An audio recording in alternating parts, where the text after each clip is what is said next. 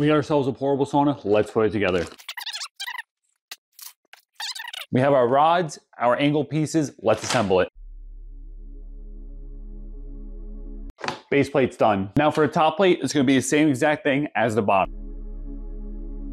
Top is now identical to the bottom. Next, we just have to make the bars connecting up top. So we just take the long rods, the little tubes, rods, and we're good to go.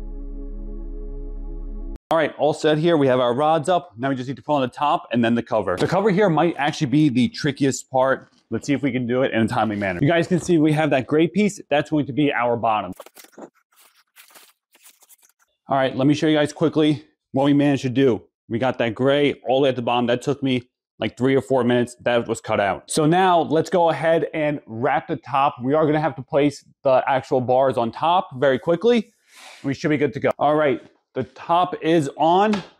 Smack it down, make sure everything is nice and tight. Let's go ahead and put on the cover.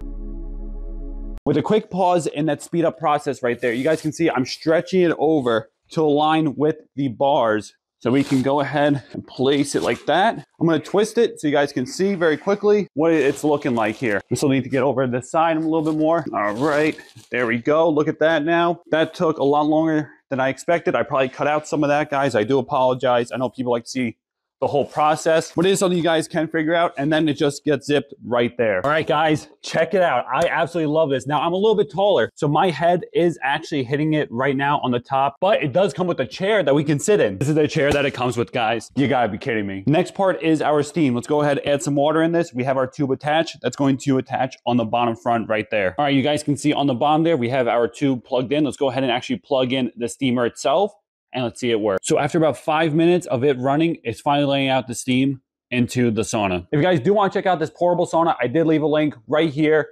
This thing is absolutely phenomenal.